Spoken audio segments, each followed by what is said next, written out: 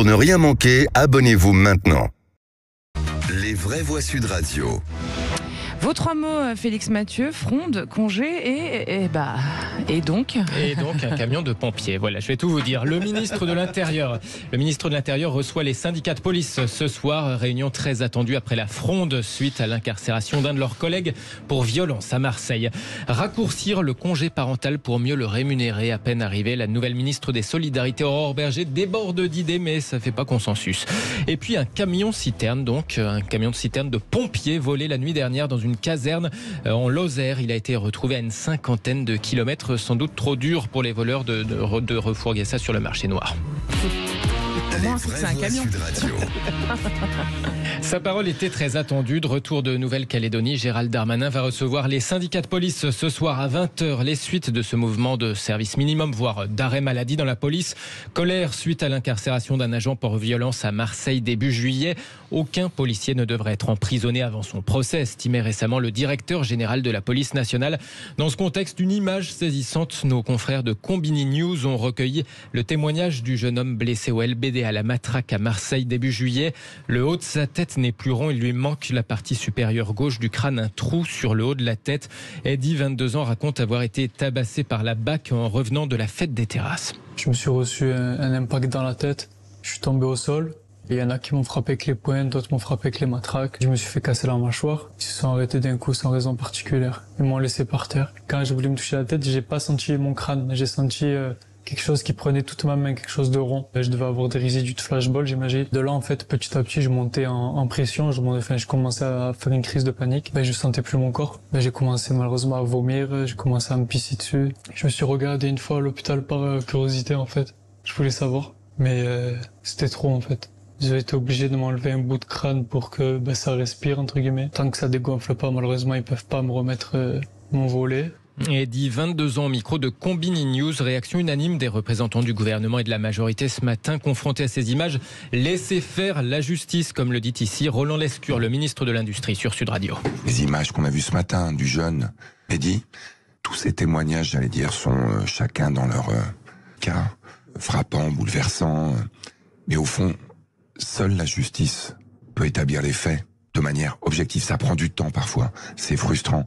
Seul un juge peut décider ou non de la détention provisoire de quelqu'un. Hmm. Et évidemment, il, il ne le fait que s'il a suffisamment d'indices.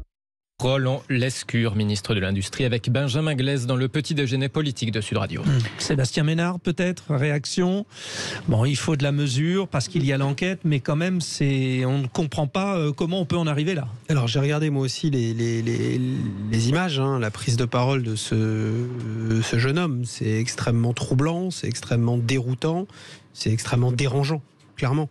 Euh, puisqu'on a euh, potentiellement quelqu'un qui dit être victime d'une bavure policière. Voilà, donc euh, moi j'ai toujours à la fois énormément de, compassion pour celles et ceux qui, ramassent, et là pour le coup, il, lui il fait pas semblant, et en même temps, euh, je comprends aussi les, positions euh, mesurées, prudentes euh, d'un certain nombre de, politiques et, et, le soutien du ministre de l'Intérieur aux forces de l'ordre. Hmm. Catherine Evrard, même dans ces cas-là, en fait, dans ce cas-là précis, il faut faire quand même tout de même attention au tribunal médiatique. Non, mais moi déjà, je trouve qu'on en parle beaucoup trop. C'est horrible ce qui lui est arrivé, mais une fois de plus, on n'a pas les faits en main. On ne sait pas pourquoi tout d'un coup il a été tabassé. Moi, je trouve ça horrible et je trouve que plus on en parle, plus ça excite tout le monde.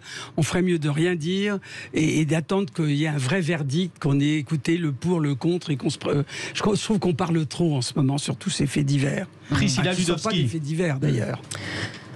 Ben, je, trouve qu'on en parle euh, peut-être pas forcément de la bonne manière. C'est-à-dire mm. que euh, en parler, c'est important. Je pense que c'est mm. important que les médias fassent leur travail là-dessus. Euh, c'est la manière dont on le fait et et ensuite, les réactions qui, qui, vont en face, elles sont plutôt inquiétantes côté gouvernement. Je trouve la dernière fois on parlait de, de confiance envers la justice et je, je trouve que c'est ce sont des, des cas qui justement, euh, en tout cas, euh, font peser la balance d'un côté ou de l'autre, dans le sens où on peut se dire voilà, est-ce qu'une personne qui passerait dans la rue et en tabasserait une autre ne serait pas actuellement en détention provisoire Euh, Et est-ce que quand c'est un policier, ils sont logés à la même enseigne ou pas? Ça peut, ça peut être la question qu'on peut se poser.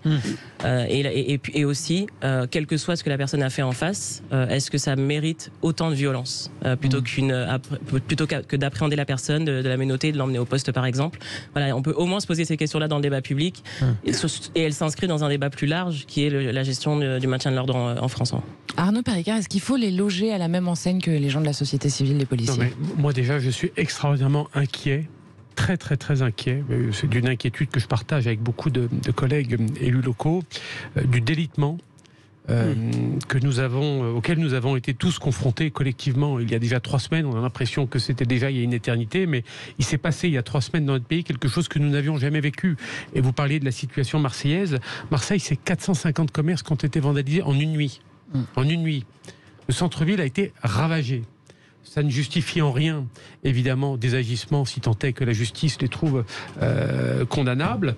Euh, ça ne justifie en rien, peut-être, euh, des comportements, mais ça peut aussi justifier des effets de tension ou des comportements dans un pays où, je rappelle, les doctrines d'engagement des forces de l'ordre sont assez atypiques par rapport à d'autres pays. Il y a d'autres pays où euh, on dégaine, où on tire, où on a des doctrines de maintien qui sont différentes des nôtres, et nos forces de l'ordre font preuve d'un sang-froid exceptionnel. Il y a eu quasiment, je dis quasiment parce qu'il y a eu effectivement un décès après, il y a trois semaines, il n'y a aucun décès, malgré euh, la violence. Euh, des engagements qui ont été euh, constatés. Et, là, à dans ce cas-là, on se demande effectivement s'ils n'ont pas craqué et pété les Je ne sais pas. Mais en Euh, tout cas, ça en prend le chemin. les jeux- Ça en prend le chemin. Frédéric, Ouais, ouais. peut-être ce que l'on peut dire aussi, et je vais aller peut-être à, à, à rebrousse-poil de ce qui est dit, parce que c'est trop facile politiquement de se réfugier derrière ce consensus judiciaire. Laissons faire la justice. Non, je pense que nous sommes à un moment où les forces de l'ordre dans notre pays, elles ont besoin de soutien. Soutenir les forces de l'ordre, ça ne veut pas dire approuver, donner un blanc-seing à des agissements qui sont condamnables. On l'a dit, il y a des inspections internes qui sont diligentées, il y a une inspection judiciaire, une enquête judiciaire qui sera, qui sera diligentée. Mais je crois qu'il faut peut-être faire preuve d'un peu plus de courage. Et moi, je salue quand même, on verra ce que, ce que le ministre de l'Intérieur dira ce soir. Mais je salue hmm. quand même cette forme de soutien de la hiérarchie qui était, euh, voilà, que je trouve assez courageuse. Félix Mathieu, votre deuxième mot, euh, congé parental. La nouvelle ministre des Solidarités veut rouvrir ce dossier. Oui, diminuer la durée du congé parental pour mieux le rémunérer. Idée évo- évoquée par euh, Aurore Berger dans les colonnes de Ouest France. Euh, Très mauvaise idée, réagit Béatrice Copper-Royer, pédopsychiatre. C'est absolument pas du luxe. Ces premiers mois de vie de l'enfant, les enfants se développent euh, socialement, émotionnellement dans une interaction, dans ce qu'on appelle un lien d'attachement avec une figure parentale. C'est à cette condition, c'est-à-dire que le lien d'attachement soit suffisamment fort, solide, qu'ils vont se développer dans la sécurité. Sauf que, sauf que le congé parental est utilisé par une minorité de parents actuellement, répond euh, Martin Garagnon, secrétaire général du parti présidentiel Renaissance dans les Hauts-de-Seine. Alors, selon lui, la proposition d'Aurore Berger, euh, justement, euh, permettrait d'inciter les parents à le prendre, ce congé parental. Il faut bien que vos, auditeurs fassent la distinction entre le congé maternité et paternité et le congé parental. C'est une Oui, étape supplémentaire. Voilà. L'objectif derrière les propos d'Aurore Berger est aussi de redonner de la liberté aux mères et aux pères. Ce congé-là est trop peu utilisé, est trop mal rémunéré et parfois il est pris parce que vous n'avez pas de recours de garde possible. En tout cas, depuis ça, Aurore Berger a aussi dégainé une nouvelle mesure, un chèque colo pour aider les familles à financer les colonies de vacances. Propos recueillis tout à l'heure par euh, Stéphanie Demureux sur Sud Radio.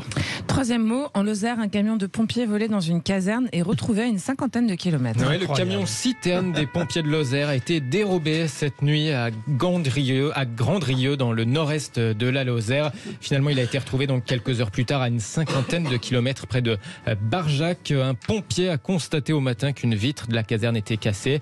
Les portes du garage étaient ouvertes. L'unique camion citerne avait disparu, explique le service d'incendie et de secours de la Lozère. Les pompiers, dans la foulée, ont averti leurs collègues des autres départements d'à côté. Une enquête de gendarmerie a été euh, ouverte avant qu'on le retrouve. A priori, rien n'a été volé, il n'a pas été vandalisé, mais un extincteur a été vidé dans la cabine pour éviter de retrouver des traces ADN dedans des pompiers qui s'amusent en tout cas du fait qu'un tel camion, c'est dur à revendre évidemment sur le marché noir. Alors on se demande ce que cherchaient les voleurs finalement. Mais que cherchait-il Passé inaperçu peut-être. C'est Oui, vrai. il avait ça, fait voilà. un pari. En il a camion peut-être fait un rouge. pari.